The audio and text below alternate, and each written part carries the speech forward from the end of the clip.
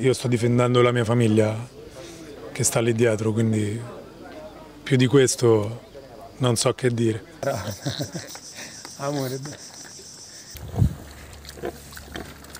Abbiamo ovviamente contestato la notifica di abbattimento e stiamo aspettando, si pensa almeno nelle prossime 24 ore potremmo avere una risposta da parte del TAR del Lazio. Si parla di un rischio di peste suina.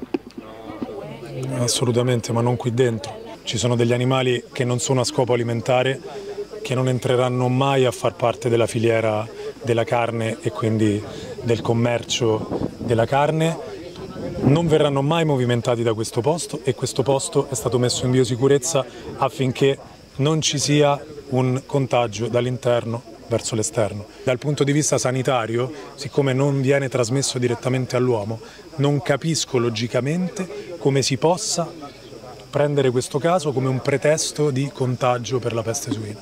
Chiunque voglia aiutare la causa e prendersene i meriti è veramente ben accetto.